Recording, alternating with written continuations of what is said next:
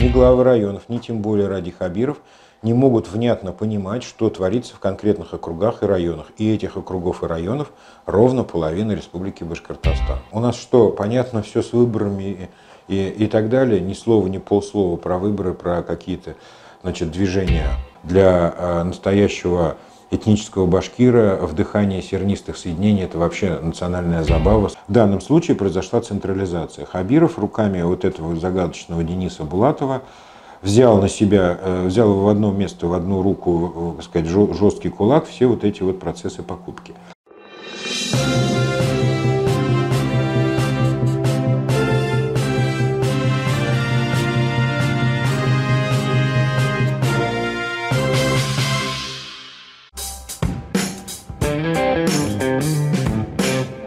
Несмотря на то, что буквально сегодня и вчера э, случилось 100 дней э, правления Ради Хабирова, я все-таки считаю, что э, давать оценки всерьез, анализировать работу новой администрации в столь короткий период времени неправильно.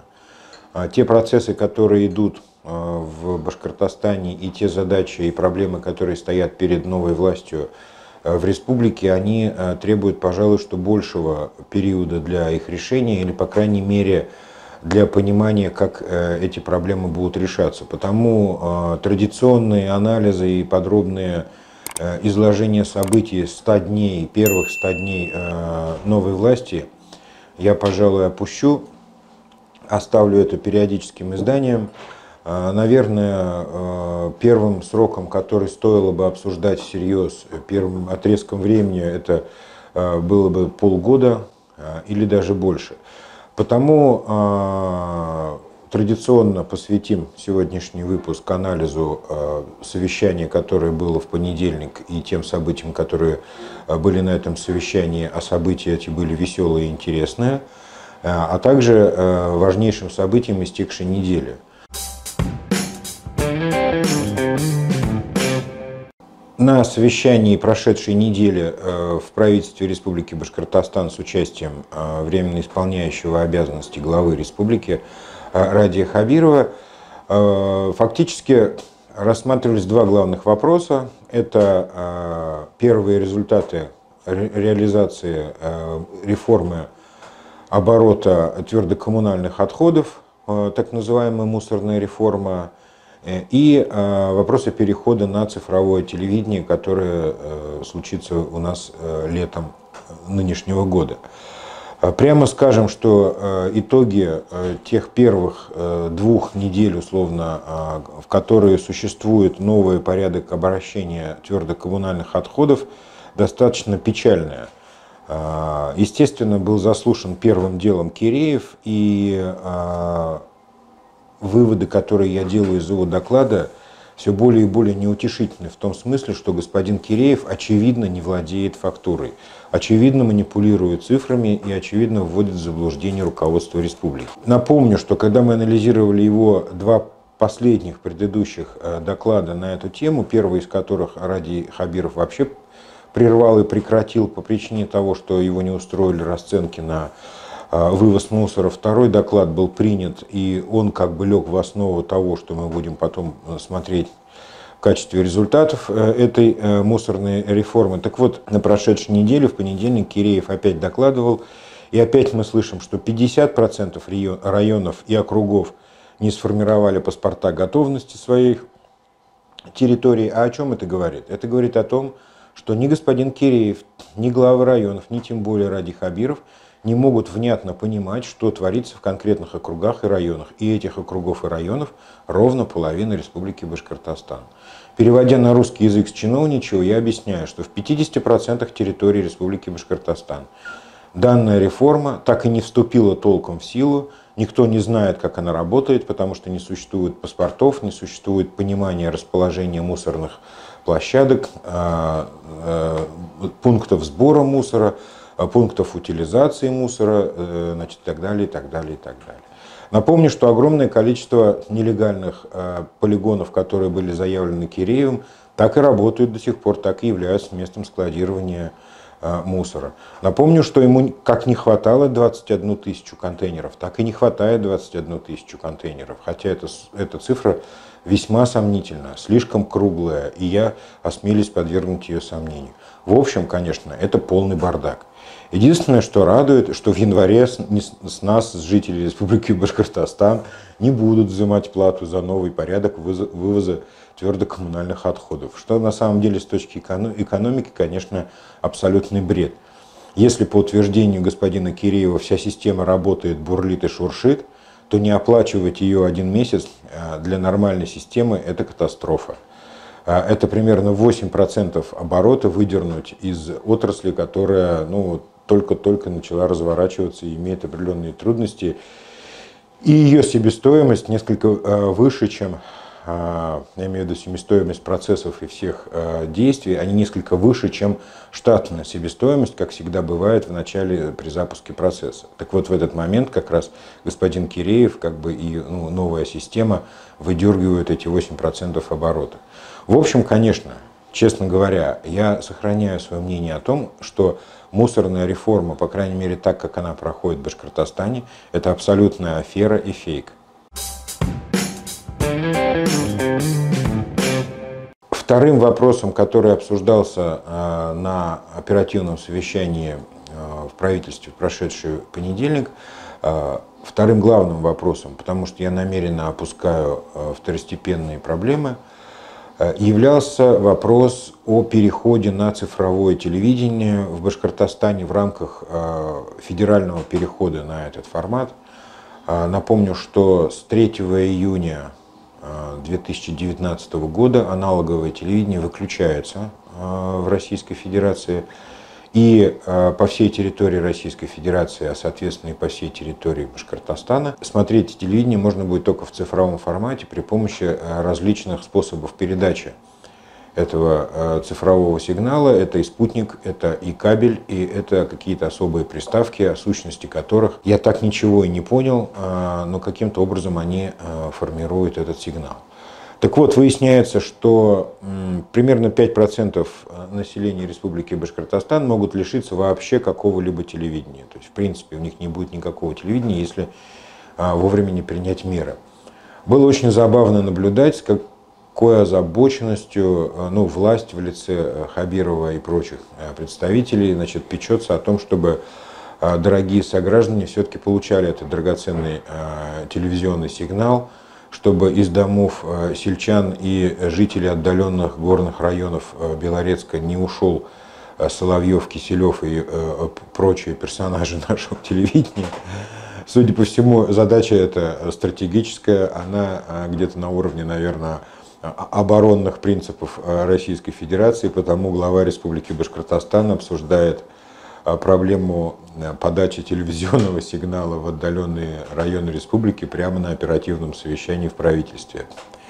Ну, в общем, так или иначе, был заслушан доклад Бориса Николаевича Мелкоедова, который в свойственной его манере и умело применяя эффект регулируемого а, акцента, значит, достаточно непонятно э, отчитался о том, как хорошо или плохо происходят эти процессы. Борис Николаевич уникальная фигура, он, а, как говорится, от Ильича до Ильича, без инфаркта и паралича, пережил всех, работал при всех э, руководителях и э, остался в живых, человек чрезвычайных квалификаций и ловкости.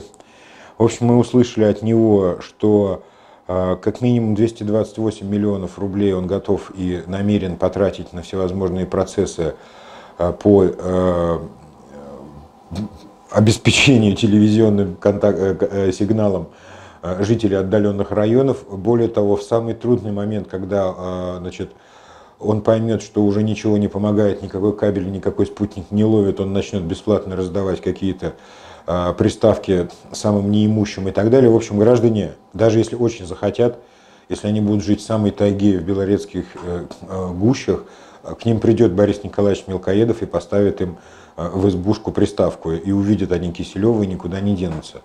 Более того, я полагаю, что отдельная собственная озабоченность господина Хабирова обеспечением граждан телевизионным сигналом заключена еще и в том, что у него у самого вообще-то в ближайший сентябрь выборы, и если 5% населения самого, кстати говоря, толерантного и самого послушного, живущего в далеких уголках Башкортостана останутся без телевизора, есть шанс, конечно, что они просто не узнают о существовании самого Радия Хабирова, соответственно, не проголосуют за него. Ну, так или иначе, значит, а, Борису Николаевичу поставлена категорическая задача обеспечить, добиться любыми путями Хабиров даже обмолвился, что, э, дескать, если будут какие-то проблемы, вы сразу же бейте в колокола. Но это же вам не скорой помощи покупать, да? То есть не купили, и черт бы с ними, что в колокола бить, да ведь? А вот телевизор людям провести в Белорецкие горы, это важно.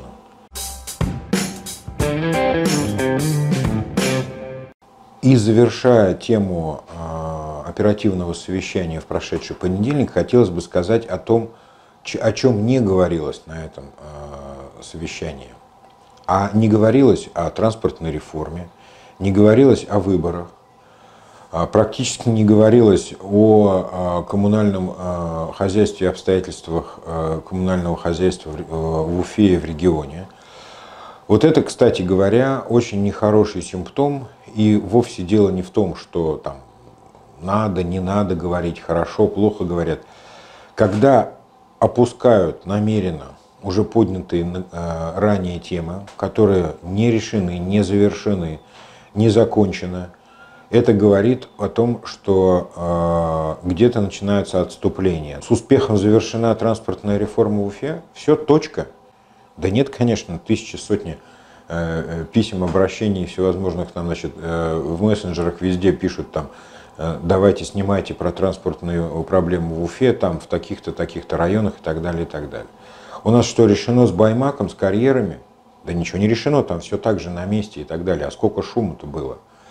А про Сибай мы еще поговорим. У нас что, понятно все с выборами и, и, и так далее? Ни слова, ни полслова про выборы, про какие-то значит, движения. Но тем не менее Хабиров э, косвенно оговорился, что он абсолютно не, не сомневается в своей победе на выборах, потому что он уже назначает некие там процессы, какие-то совещания на декабрь, там, на ноябрь и так далее, и так далее. Зато мы даем поручение э, Мустафину о том, чтобы в следующий Новый год, кстати говоря, уже тоже никто не сомневается, что и Мустафин будет на своем посту, и Хабиров. Так вот, в этот следующий Новый год мы тут должны до слез довести почему-то мэра Казани, а почему не мэра Нью-Йорка или мэра Токио? Причем здесь это несчастная Казань? Куда, куда катится вот это вот Э, колесо э, ненависти, которое запущено с горки, зачем мы э, противопоставляемся Татарстану, татарам, почему у нас весь интернет забит карикатурами на Миниханова и так далее. Это вот совершенно непонятно. Так вот, еще раз, очень важно не всегда то, о чем говорят, а очень важно то, о чем не говорят. Вот за этим тоже нужно пристально следить.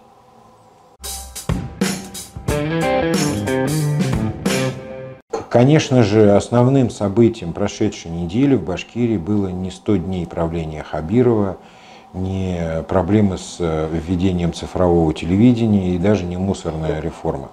Главным событием прошедшей недели были продолжающиеся события в городе Сибая, а, а я имею в виду загазованность, смог э, и вот эти все э, явления, которые происходят в связи с карьером Напомню, что на прошедшей неделе а, под давлением общественности власти Сибая и республики были вынуждены признать, что присутствует трехкратное превышение ПДК а, сернистых соединений в атмосфере города Сибая.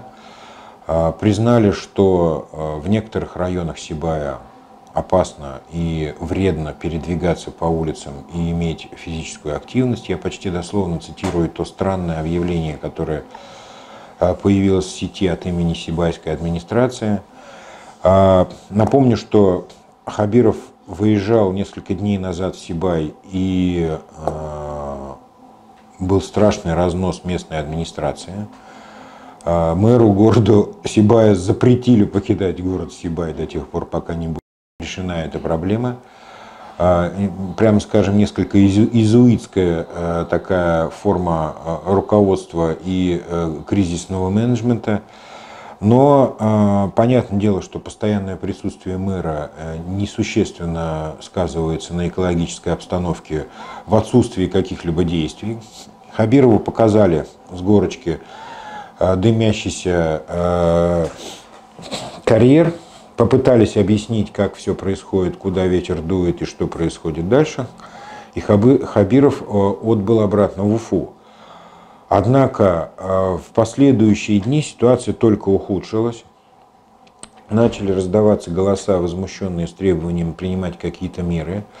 На фоне абсолютного отсутствия информирования и населения Сибая, и населения республики о том, что происходит, я имею в виду прямую обязанность вот этого информационного блока, которую, о чем, собственно, еще Хабиров давал отдельное поручение – вот это один из самых ярких примеров, когда на эти поручения было э, забито полностью. Никакой информации вообще от слова совсем не существовало по этой ситуации. Конечно же, ситуация начинает обрастать слухами, всевозможными выдумками и так далее. Однако а, в последующие после отъезда Хабирова из Сибая дни а, местные а, активисты подали уведомление о проведении митинга.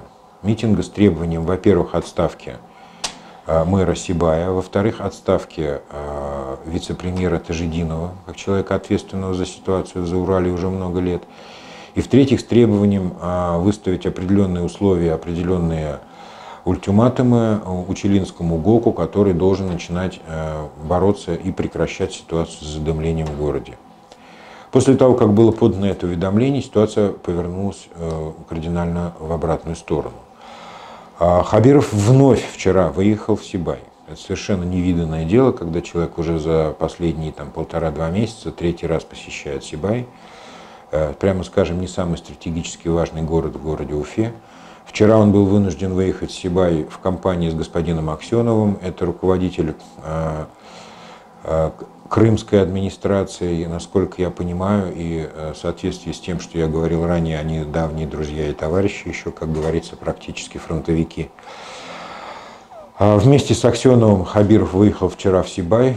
А, понятное дело, ничего лицеприятного и прекрасного сказано в адрес мэра Сибая наверняка не было.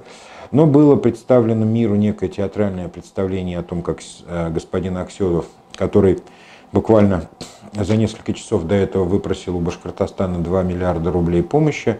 Еще и э, практически прямо на краю Сибайского карьера продал Башкортостану 500 путевок э, в Крым э, для детей Сибая, которые поедут туда подлечиться. Понятно, что, наверное, все-таки, я надеюсь, детей денег из их родителей не возьмут, но бесплатного сыра не бывает, и, соответственно, за проживание детей в Крыму и а, за транспорт, конечно, заплатит Республика Башкортостан.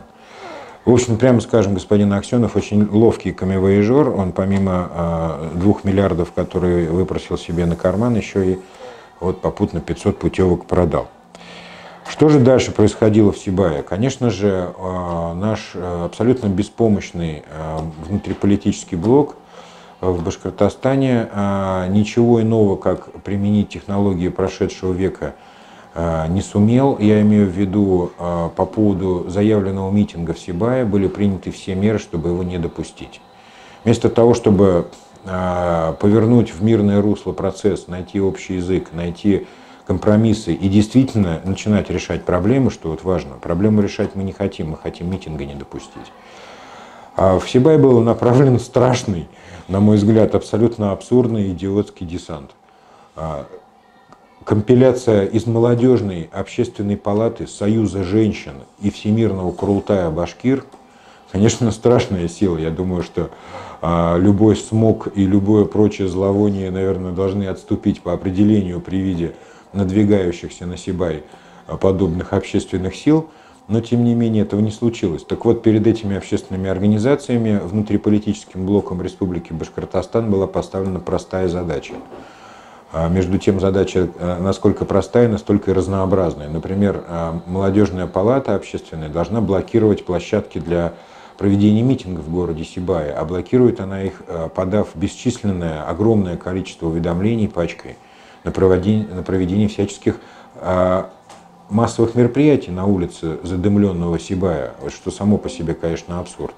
Тем самым места теперь для проведения митингов Сибая не существует на многие-многие недели вперед. А Союз женщин, судя по всему, будет объяснять э, женщинам Сибая о том, что дышать сернистыми э, соединениями для их детей это, в принципе, не очень вредно, а даже полезно. А вот Всемирный Курултай Башкир, судя по всему, будет объяснять коренным жителям этого региона башкирам о том, что вообще-то для э, настоящего этнического башкира вдыхание сернистых соединений – это вообще национальная забава, спорт и э, признак доблести. Я не знаю, зачем эти э, три фейковых общественных организации согнаны в Сибай, но тем не менее они там исполняют вот эту функцию.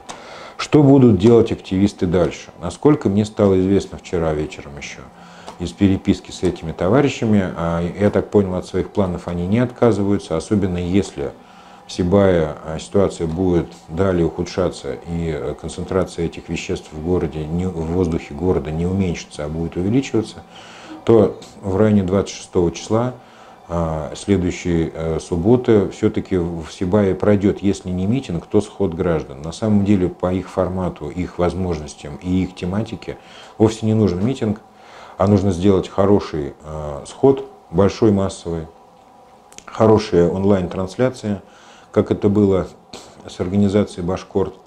И тогда это даст хорошую э, наглядность, массовость и э, ну, распространение в средствах массовой информации. В общем, наблюдаем за ситуацией в Сибае и будем делать это очень внимательно.